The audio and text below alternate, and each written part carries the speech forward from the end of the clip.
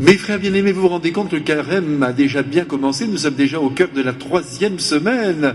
Et depuis trois semaines, je l'espère, nous essayons de nous bonifier. C'est pas toujours facile parce que nous sommes pris par les activités de la vie et que nous oublions que ce temps nous est donné pour nous transformer, pour nous bonifier, pour ressembler à Jésus. C'est là tout le but de la vie chrétienne, mes frères bien-aimés. Devenir des sosies du Christ. Et ça se fait évidemment par la fréquentation quotidienne de l'Évangile, parce que en écoutant la sagesse du Christ, elle pénètre quand même dans notre cœur et elle transforme nos tempéraments, nos caractères, nos mauvaises idées. Cette transformation, elle s'opère aussi par la prière, bien sûr, parce que plus on s'approche de Jésus, plus on pense à lui, plus on vit avec Marie, euh, plus bien sûr nous vivons des réalités du ciel, c'est certain mais elle s'opère aussi à travers les sacrements. Et vous vous rendez compte que dans quelques minutes, vous allez recevoir avec moi notre Seigneur Jésus-Christ lui-même. Vous vous rendez compte? J'espère que vous ne banalisez pas cette rencontre, mais c'est important que je vous le dise et que je me le redise à moi-même, moi qui célèbre la messe tous les jours depuis 15 ans, presque. Vous imaginez un peu? Tous les jours recevoir le Christ. Nous devrions être des êtres incandescents, mais nous ne le sommes pas parce que nous passons à côté de la réalité la grande réalité de la présence de Jésus dans la Sainte Hostie. Vous savez que Jésus se donne à nous à la mesure de notre accueil. C'est comme le soleil. Vous savez, quand il rentre dans les maisons, si vous fermez les volets, ben, il passe pas. Si vous ouvrez un tout petit peu les volets, il passe un peu. Et si vous ouvrez très grand, alors là, le soleil vous envahit et vous chauffe tous les murs.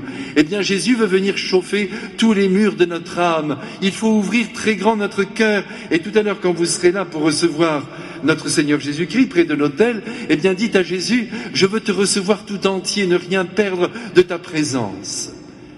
Mais ces sacrements, mes frères bien-aimés, notamment celui de la Sainte Eucharistie, mais aussi celui du pardon, parce que c'est essentiel de demander aussi le pardon de nos fautes, c'est un bel acte humain.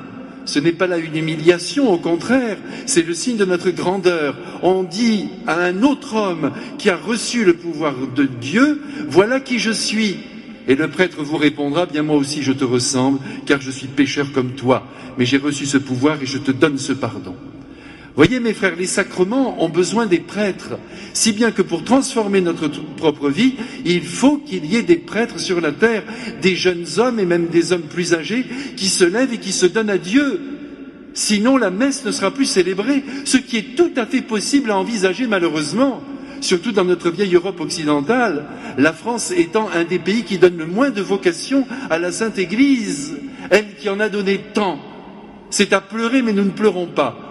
Pourquoi? Parce que Jésus nous a dit priez le maître de la moisson d'envoyer des ouvriers. Mais en même temps, nous le voyons ce soir à travers cet évangile, il faut qu'il y ait des témoins qui attirent, et pas seulement des prêtres, mais aussi des baptisés comme vous.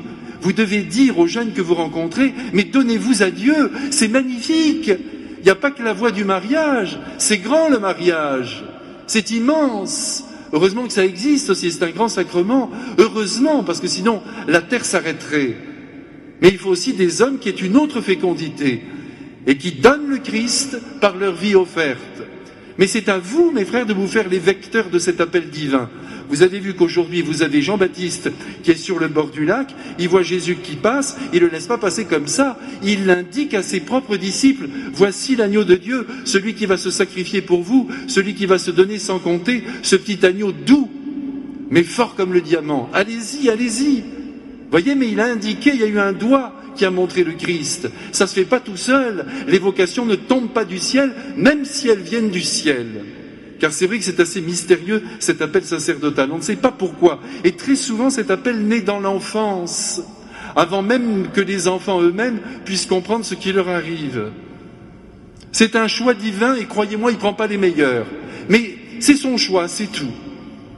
Mais vous voyez, il y a eu Jean-Baptiste pour dire voici l'agneau de Dieu. Alors les deux disciples, qui étaient André et Jean, se sont mis à la suite du Christ. Puis Jésus s'est tourné vers eux et leur a dit Mais qu'est-ce que vous voulez, les garçons? Et puis tous les deux ont posé la bonne question, ou plus exactement, ils ont eu la bonne réponse, et ils ont dit ceci, où habites-tu? Jésus dit, venez chez moi. Ils sont allés, ils ont passé la journée, et c'était une journée tellement inoubliable qu'ils se sont souvenus même de l'heure. C'est rare dans le Saint-Évangile. Il était environ quatre heures de l'après-midi, dit le texte sacré, autrement dit le Saint-Esprit. Là, ils ont été très heureux avec lui. Être prêtre, c'est vivre avec Jésus, voilà, c'est tout et être à son service. C'est très grand et en même temps c'est très simple. Comme être marié, c'est aimer une autre personne et fonder avec cette personne une belle famille. Vous voyez, tout est simple avec Dieu, avec son plan sacré. On complique tout, on veut des destins uniques, mais non, c'est la multitude de nos destins bien réalisés qui fait la beauté du monde. Mais tout est simple en matière de vocation, que ce soit celle du prêtre comme celle de la personne mariée. Et puis vous voyez ce qui se passe, c'est que dès que André et Jean ont été appelés, eh bien, ça y est, la machine est en route. André va voir son frère Pierre, il lui dit, tu sais pas la nouvelle? On a rencontré le Messie. Alors, Pierre se pointe devant Jésus et il est appelé à son tour. Et à chaque fois, Jésus les regarde avec beaucoup d'amour, comme vous, vous devez regarder tous les jeunes que vous rencontrez avec beaucoup d'amour. Tous les jeunes chrétiens devraient se poser la question du sacerdoce, tout le monde, car il se peut qu'au milieu de toute cette foule, de très nombreux garçons soient appelés. Je vous garantis que je vous dis la vérité.